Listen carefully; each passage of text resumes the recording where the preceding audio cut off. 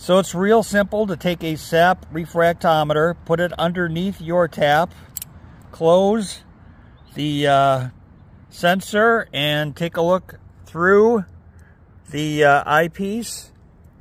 And as we do, you can see that the level of sap, uh, you can see that the level of sugar in the sap is about 2%, which translates to about 43 to 1.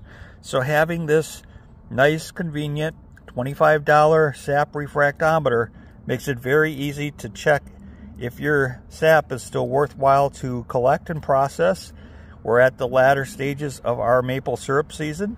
In fact, I thought the season was over. The week prior, I had measured a 1% sugar content in the sap. So it's very odd that it's one percentage point higher than it was the week before. Things happen. Thanks for